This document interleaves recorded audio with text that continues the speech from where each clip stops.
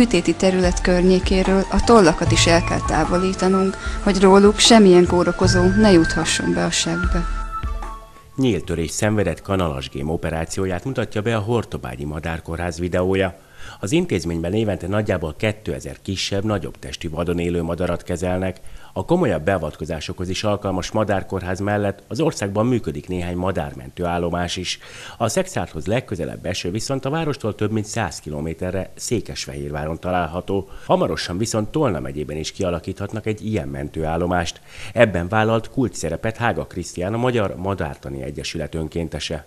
Egy ilyen madárkórházban, illetve a madármentő állomásnak a felszereltsége az kimerül ugye egy állatorvosban, aki a madarakra specializálódott, illetve nyilván azokra a tartóhelyekre, volierekre, röbdékre, inkubátorokra, amikben a madaraknak a kezelése, repatriálása történik. A mentőállomást a tervek szerint egy most még felújításra szoruló szexárd melletti ingatlanból alakítják ki. Az ehhez szükséges engedélyeztetési folyamat már el is indult. A Hortobágyi Madárkórház igazgató helyettese szerint a mentőállomásra nem csak a műtét után lábadozó madarak biztonságos elhelyezése, hanem a fészekből kieső évi több száz fióka miatt is nagy szükség van az ország országnak ezen a részén. Nyilván ezeknek a fiókáknak az égvilágon semmi bajuk nincs történetesen, tartani kell őket egy-két hétig etetni, megtanítani jó repülni, és utána elengedni őket.